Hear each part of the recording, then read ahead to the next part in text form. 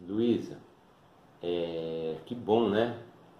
Juntou agora a Rejane e a Luísa. Agora a Luísa não estou vendo, mas fico feliz que as moças, porque o audiovisual é, tem sempre muita mulher e as diretoras é que estão comandando agora. É um momento que as diretoras estão se destacando muito. O roteirista, você vê, é, acho que ninguém quase né, vive de roteiro, assim, trabalha com roteiro, cara ele tem uma outra profissão e escreve roteiro.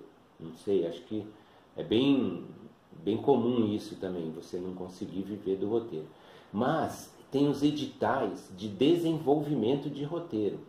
Então você tem, acho que do Itaú Cultural, tem da Petrobras, tem da, do BNDES, tem vários do PROAC de São Paulo, Secretaria de Cultura.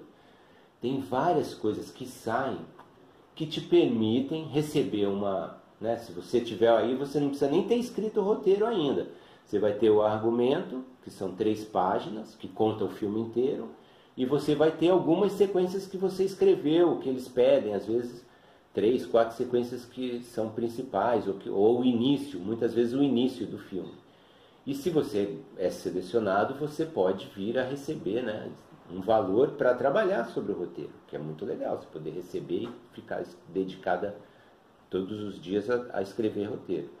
Então esse é um caminho que não pode desprezar. Você tem que tentar, você tem que ir lá investigar onde é que tem os editais de desenvolvimento de roteiro para que você tenha tempo e paz de espírito para poder escrever. Outros são os grupos, né? Tem muito grupo de roteirista, tem a aula, a gente dando aula de roteiro, eu não sei aí em qual a gente se, se enquadra, cada um se adequa a um, a um, modelo por conta do seu tempo, por conta do seu formato. Tem é, outra maneira de você trabalhar o roteiro, eu acho que o SESC tem alguns laboratórios de roteiro, né, que também é a mesma coisa, você manda, é como se fosse um concurso, eles selecionam alguns e aqueles que são selecionados vão ser acompanhados, como se fosse uma oficina, você vai ter pessoas que vão te acompanhar no roteiro e tal. Eu tive uma vez um roteiro selecionado, que eu ainda não filmei, espero filmar, foi selecionado pelo Ministério da Cultura. Eu participei três meses lá no Rio de Janeiro de uma oficina com Orlando Senna, que é um roteirista fora de série. E aí ele me, me conduzia a questão, né? É legal ter alguém para te te questionar, né? Quando você conta o roteiro, você acha que todo mundo está entendendo e às vezes o outro ouve e fala, não entendi, por que ele fez isso, por que ele fez aquilo, e como é que ele passou daqui para lá, ninguém viu. E e muitas outras coisas. Mas eu acho que os editais é que trazem a possibilidade de você ganhar algum recurso para poder trabalhar nisso. Aí outra possibilidade é comprar livros, né? Então tem o Seed Field, que tem os modelos, tem o Doc Comparato, tem o próprio Orlando Senna. Existem modelos de roteiro, né? O, próprio, o, o Tarantino, por exemplo, ele segue as regras do roteiro. Só que ele muda o fim, bota o fim no começo, o começo no meio, ele muda, ele tem um domínio tal que ele mexe na estrutura do negócio e, e você entende, né, até fica bem mais legal.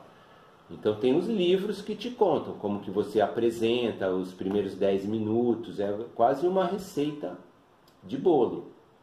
Aí entra o, aí entra o restante se a, se a lente que você vai usar, se você vai contar aquilo de perto, se você vai contar aquilo de longe, ou de longe e de perto, aí vai mudando a maneira de cada filme, vai diferenciando.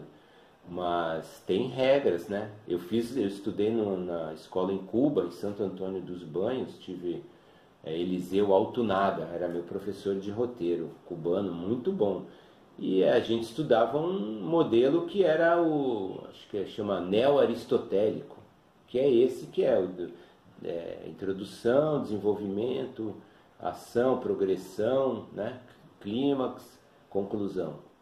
E aí isso vira um mar, né, vira um mapa imenso, tem os papeizinhos, cada sequência é um, cada ação é um papelzinho diferente e ali você vai mudando também e vai acrescentando seus personagens e, e é, um, é um trabalho realmente que deveria ser mais valorizado. E a TV, né? E hoje também as produtoras independentes saindo um pouco só do roteirista, mas se você é um produtor, você é, escreve o roteiro e tem conteúdo dentro, né? Você direciona aquilo lá, vamos falar sobre ecologia. Então a Natura vai falar tal coisa, ou eu vou ter uma amiga que quer fazer um curta-metragem, então você tem os, as regras e você tem um tema, não é livre para você, mas você vai fazer da mesma com a mesma estrutura, com as mesmas os mesmos pilares, né, para botar de pé aquela história. E aí voltando um pouco, saindo um pouco, mas dando um outro ângulo no que você falou dos roteiristas não serem valorizados. Muitas vezes também você escreve o roteiro e na hora que vai filmar não acontece nada daquilo que está no roteiro. Muda tudo. O cara não veio, o outro não sei o que, choveu, era para filmar com sol, o, a chuva, a máquina não está funcionando, a atriz teve um estresse foi embora. Então acho que quando, quanto menos estrutura de orçamento, de pré-produção, de né, o profissionalismo da indústria, mais chance tem do, da diferença que a gente fala, da teoria e da prática. O cara escreve o roteiro, como diz um outro grande diretor e roteirista que é o Jorge Furtado, que fez o Ilha das Flores, né? fez o, o Homem que Copiava, lá fez agora o, é, o último filme dele, não vou me lembrar. Mas ele fala assim, quando eu escrevo chuva, é só uma palavra de cinco letras. Agora vai filmar a chuva. Então tem toda essa essa maneira, né, de você pensar nisso também. Pô, será que eu estou escrevendo isso é viável, né, para depois? Será que respondi, Luizão? Sim, sim, com certeza. Mas ó, não deixa, não deixa de procurar. Em São Paulo tem também a Paradiso. Não sei se vocês já ouviram falar. Eu acho que é .org. A Paradiso tem laboratório, dá bolsa de estudo, manda as pessoas para o exterior. Eu acho que o Esmir Filho, que fez aquele Tapa na Pantera e fez uns filmes muito bons agora, é, ele ganhou uma bolsa, ele vai para o exterior, ele vai estudar lá para poder fazer um roteiro, uma série. Então tem muitas oportunidades, são, vamos dizer, muito, né, deveria ter mais, mas tem. Se você procurar, procurar, não não acreditar que não vai dar também, né? Porque às vezes a gente fala, pô, mas aí, por que, que eu que o escolhido? Isso dá um trabalho, um monte de coisa. Vai lá e faz, se inscreve. Às vezes te obriga a você formatar o seu projeto, te obriga a pensar de novo se é aquilo que você quer falar. Então, se você fica um ano debruçado sobre uma mesma história, sobre o mesmo projeto, não é nada. Os filmes são 10 anos, né? Os filmes que. O próprio Cidade de Deus, eu acho que o cara levou 10 anos pensando naquilo, até ele fazer o filme. Não foi uma ideia de um ano, né? Então, um roteiro tem isso. Se ele aguentar um tempo, ele é porque ele tem valor.